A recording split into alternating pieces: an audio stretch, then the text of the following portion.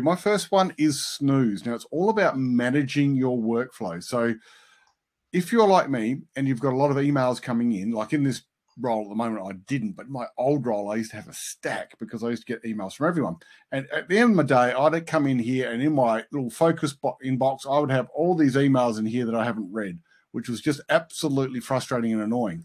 And some of them I couldn't really deal with until a bit later.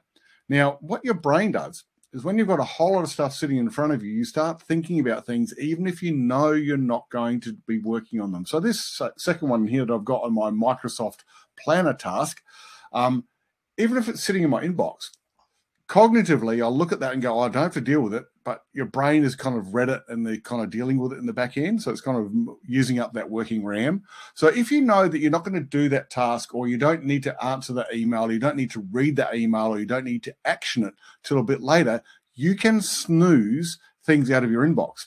So let me grab this one here from my Microsoft Planner. All you do is you click on the dot and then come up to the top and there's a snooze button. Now, in your snooze button, when you drop that down, you've got a couple of options. You can choose to do it later today, which is normally around about three o'clock.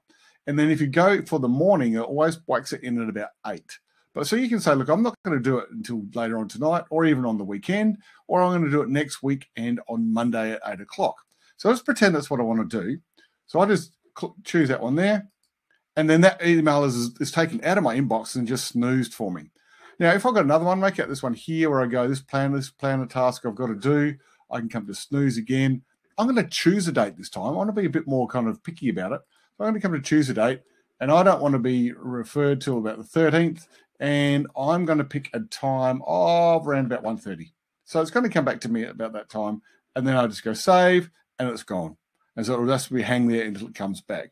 Now, don't be too panicky because you might go, oh my goodness, it's gone. I've suddenly freed some time up in my day. That thing I'm going to do on the 11th or the 12th, I'd love to do it now. All you need to do is come across to your list over here, and there's a little button called snoozed.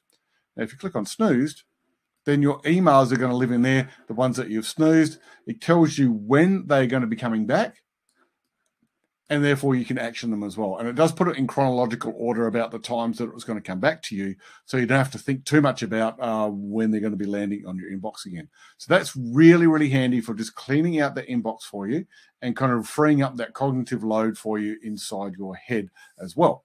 So that's one way of saving a bit of time.